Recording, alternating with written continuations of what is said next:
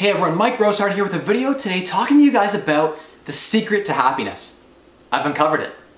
And no, it's not necessarily being wealthy or financially independent. In fact, the secret to personal wellness, the meaning of life when it comes to are you going to be happy in your life, it is an hexagon. It is eight points of happiness. I'm gonna walk you guys through, I actually wrote a blog article on this a little while back. Um, some of this I grandfathered and took from different sources on the internet, so it's not all my creative, um, you know, I just make this up. But I've kind of solidified it in a way that I think makes the most sense and defined it in a way that I think makes the most sense um, for me. And this is actually, if you're out there and you're wondering, you know, you're not happy, you're depressed, or you're trying to find out, you know, what do I do with my life? Um, how do I unlock a better life for myself and how do I become a better me?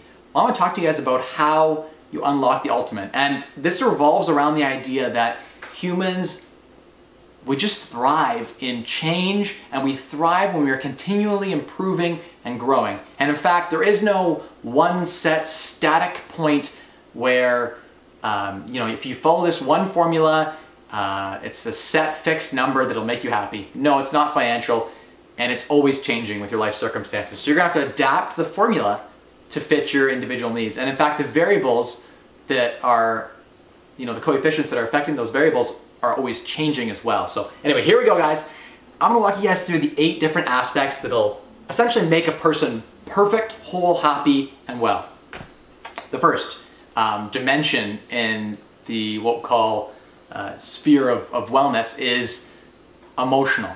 Uh, it's, it's basically your emotional, uh, your ability to, to um, effectively cope with life and create satisfying um, relationships, maintaining a positive outlook on the world. It's your overall feeling, um, your ability to focus on your self-care, relaxation, uh, you know, reduce stress, and develop those inner resources that'll help you grow as a person. So if you can master all eight of these dimensions, you and whatever balance works for you. So some might not focus as much on emotional, they might focus on a different aspect. Uh, if you can get the perfect harmony of all eight of these aspects, you will be happy. Um, so second, we've got environmental uh, is the next aspect. Environmental is, you know, about uh, finding a good health to, you know, have a, basically it's supporting your overall health, but in a way that's directed from your environment. So uh, making sure your environment, you're in a positive place, uh, filled with people who are positive around you. Um, you want people that are going to encourage your good physical and mental health. You are the average of the five to 10 people you spend the most time with. So surround yourself with the right people. If you have toxic people in your life and you're in a toxic environment, in the wrong place, in the wrong city, maybe in the ghetto, maybe in the wrong wherever, the wrong country, the wrong house, living with the wrong people, the wrong roommates, Get that out of your life because that's going to drag down your overall well-being and you're not going to be as happy of a person. So just get your environment, you know, work on your environment. Um, next is financial. This one's a given, guys. Um, basically, it's satisfaction with your current and future um, financial situation effectively. And I think financial independence essentially is mastery over the financial. And I would argue of all of these items, right, of all of these, um, you know, eight aspects you have to master, Financial is the one area you can master once and will provide for life. Um, so what, that, what I mean by that is if you master financial first, which is what I did, then you have a lot more time available because you don't have a job, you don't have to work, to master the other seven areas in your life. Um, that's really, really important. So I would argue that financial is the one, one thing you can master once and will provide forever.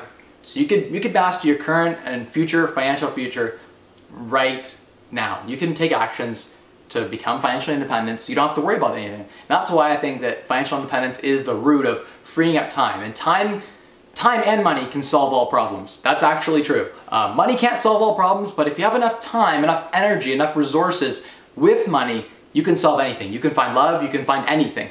Um, so that's why I argue financial independence is still a really pivotal key element of overall personal wellness. And it doesn't necessarily mean you have to have an abundance, like you don't need to be a decade millionaire or have you know so much money. You can get by with a lot less than you might think um, to be, you know, you can be lean fire, which is essentially a frugal budget um, way of doing things. So that's mastering your financial well-being. Um, and, and, yeah, essentially you don't have to worry about your living costs. Next we have uh, intellectual. So intellectual is making sure your mind is stimulated. You find creative ways and outlets to expand your knowledge and your skills. Humans like to grow. And so if you master the intellectual area, you'll feel fulfilled. So just because you have emotional and environmental and financial taken care of doesn't necessarily mean that your intellectual uh, is stimulated. This is why I still take on real estate deals. I still am engaged in YouTube, for instance. It's a way in my blog and hit me up on Insta because that's something I'm doing a lot of and Facebook because it provides stimulation for me, right? In a way that, that I get some value from it. So um, occupational is another one. finding personal satisfaction in the work that you're doing. And I don't mean work in the sense of like, you know, I'm working for the man or I'm, you know, grinding and doing renovation work or whatever you're doing. No, I'm talking about you could be volunteer. It could be filming YouTube videos for free where you make nothing.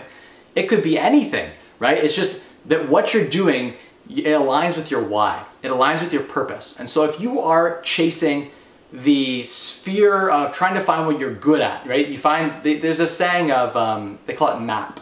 And when I used to do consulting, we talk about MAP a lot, which is mastery, autonomy, and purpose. At this intersection of that triangle, you will find perfection around mastering occupation. So if you have mastery over the tasks that you're doing, you have the autonomy and the freedom and the flexibility to decide when you're going to carry out that work, and you believe in the why, and you have found that purpose, you'll be at perfect harmony in all of the work that you're doing.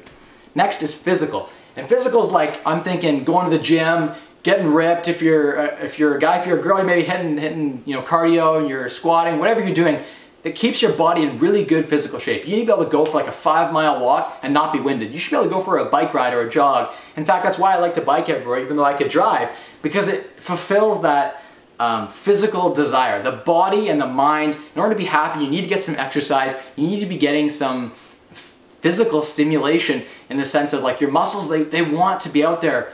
They want to be out there getting stronger. They want to be out there at least keeping fit. So really important. Um, again, like I talked about, financial being the only one you can actually hit up once and be done. The rest of these aspects you're gonna have to do every day. You're gonna have to keep your physique up every day. Like Arnold Schwarzenegger, you know, Mr. Ironman Olympia, the ultimate, I would say, in like physical strength for, for a male, right? Probably the extreme end of, of a little too big, a little too strong. Um, definitely not a natty because he was hitting up steroids, but you know, someone who's really strong like that, if they stop for like a month and they just give up on, on that one aspect and focus on the other seven, their physique will deteriorate. So you have to keep at it every single day. You're gonna always have to keep working at, especially physical, mental, like all the rest of the categories you have to work at every day. But financial, I argue, is a one and done. You can master that and be done with it, which is, that's freaking fantastic. Um, so that's why I always advocate for making sure you have really good financial literacy skills and you're working towards financial independence. Next, we have social. Um, social is really developing that sense of connection, belonging, um, development, and that support system no matter what happens to you, if you have a solid support system of family and friends and people in your network that, that are close by and that you're close to and that you value their opinion, you can weather any storm. It doesn't matter what comes at you. If there's like, your house blows up, something happens, whatever, right? If you have a good social tie system, you have good social ties, the research shows people are happier when they have strong social ties. So go out there and network. Um, build that network of people you want to surround yourself with.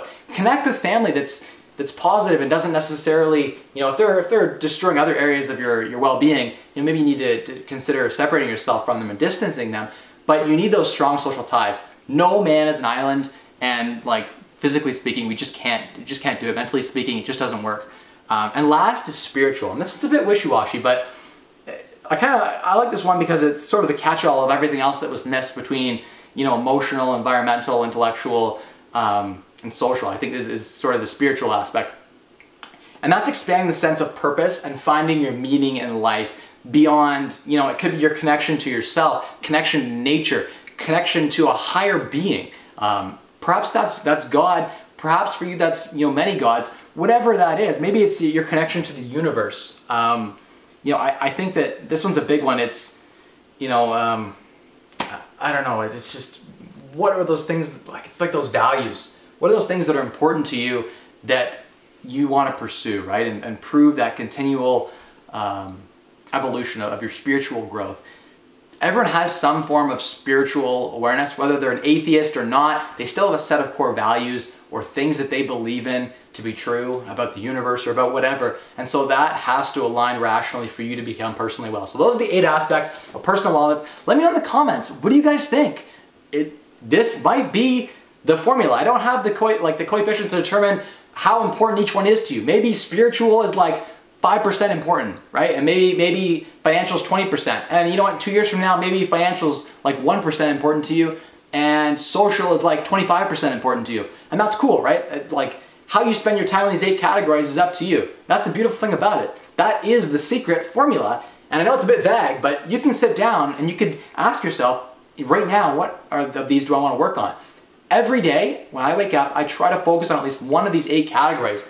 And I try to ask myself, you know, what am I going to focus on today? Am I going to try to build some new social connections? Um, am I going to focus on my financial well-being? Am I going to focus on, you know, maybe my environment? There's something in my environment that's not just right right now, and I want to make it just right, like the Goldilocks. I want to find that perfect scenario. And so every day I'm striving to be happier, to be more fulfilled, and, and that's always changing. My desires are changing, my needs are changing, and so this equation is going to change. But this is the closest I've found in those nights when I've, you know, I often stay up till three, four, five in the morning trying to find the meaning of life. And, and I have a lot more time on my hands because I don't have a day job. And I'm doing something that worked for you guys because when you get to financial independence, you have a lot of time in your hands, you have to find something to do. And a lot of us search on that quest. It becomes really important for us what makes us happy and what is the secret to life? What is the meaning of life? And I think this is it, guys. Uh, so those guys who are out there still working towards financial independence, if you're working on, on this social um, aspect maybe right now that you're gonna shift to financial, let's say, I'm still talking to you guys about how to build the ultimate lifestyle. And the ultimate lifestyle is still 25 times your annual expenses away to unlock your time to focus on these things. I'm gonna help you spend less, earn more, and maximizing your returns so you can be the best self that you can be. Cheers, guys.